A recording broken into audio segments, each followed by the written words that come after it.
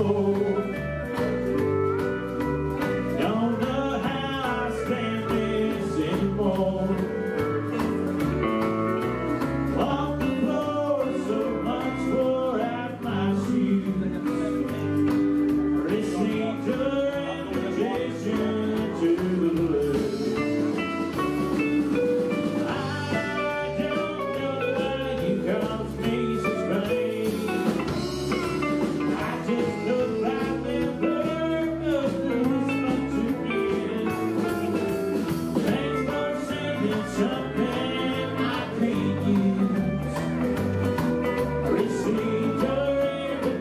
to do.